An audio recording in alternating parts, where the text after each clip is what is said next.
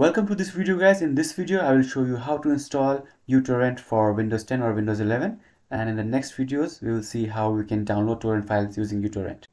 First go to this URL. You can click this link on the description below and then don't click this free download. This is the web version. We will download the desktop version so scroll down and you'll see this uTorrent classic here. Click on this free download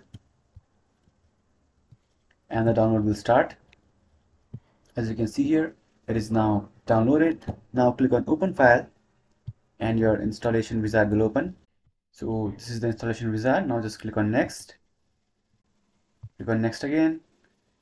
Click agree.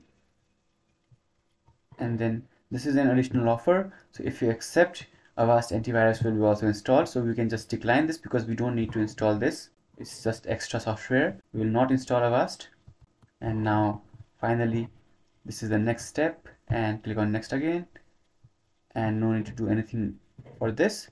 You can just click on next and now our uTorrent is being installed.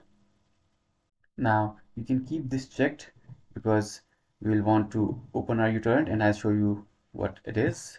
Click on finish and this is what uTorrent looks like guys.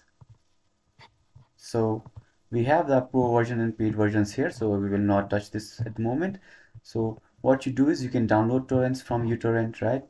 Now you can go to file and you can add torrent and you can choose your torrent file and click on open to start downloading or you can add your magnet links here add torrent from URL okay?